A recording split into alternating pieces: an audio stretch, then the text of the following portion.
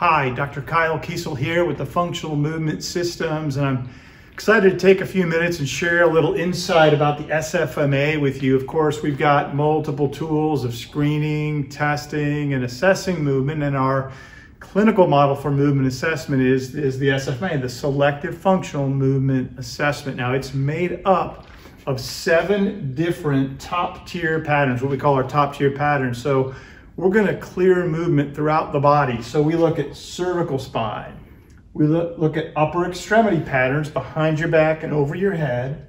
We look at composite flexion, touching your toes, extension backwards, bending, rotation as you can imagine, single leg stance and squat. So we've got almost everything covered in the movements in terms of what you need for, for daily life. And what I want to give you a little insight in today is the rotation pattern. Now, rotation is, and they're all important, right? But rotation is extremely important in everyday life, functional activities from backing up out of the driveway, getting in and out of the car. It's, you can imagine just so many things. And think about it when you get up to higher level skills, running, throwing, hitting, almost any kind of sporting movement. As you can imagine, rotation is, is incredibly important. So at SFMA, what we do when we're worried about one pattern that maybe isn't perfect is we break it down into its parts, right?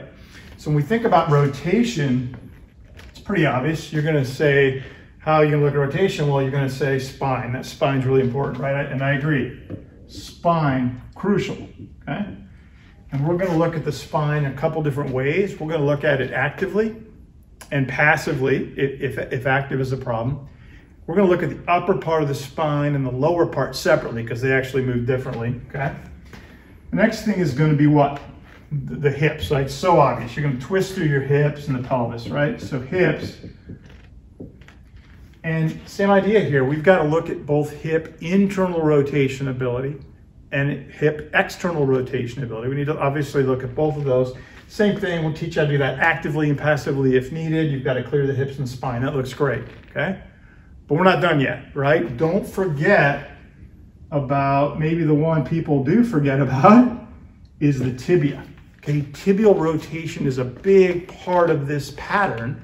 And not only is it part of the pattern, but it's extremely important for that normal function at the ankle and at the knee. We teach an entry level education in, in physical therapy, and of course, classic kinesiology is a big part of, of what they learn. And, you know, at the end of the day, it, classic kinesiology is what it is. Um, it doesn't necessarily represent how people move functionally. And all the books talk about the screw home mechanism and the tibial rotation at the knee, and they'll even talk about it in maybe closed chain.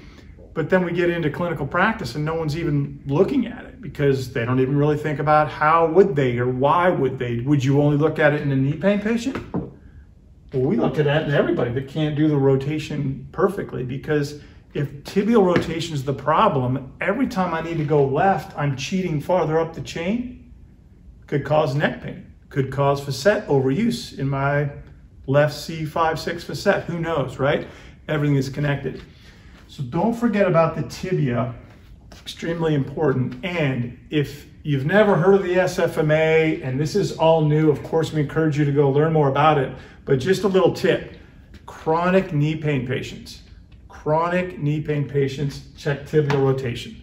Guarantee you're gonna find tibial rotation is problematic, okay? Really easy to do. Lie them on their side, put their knee at 90, put their ankle in neutral and see if they can lift their heel, okay? And you can picture that being tibial medial rotation. Popliteus is the primary muscle there. You got to know how to treat it. You got to know how to how to mobilize it. We use a lot of taping techniques and motor control exercises when the tibia is a problem, but it fixes quickly. That's the cool thing. Identify it a couple days really, and it gets better very quickly. So don't forget about tibial rotation. And I know many of you may be thinking, well, what about foot and ankle? There's supination and pronation going on as well, and there is, and we catch that in our single leg stance and our squat pattern. So even though supination pronation is part of it, we're going to catch it in dysfunction in a couple other patterns what we in, in what we call our breakouts.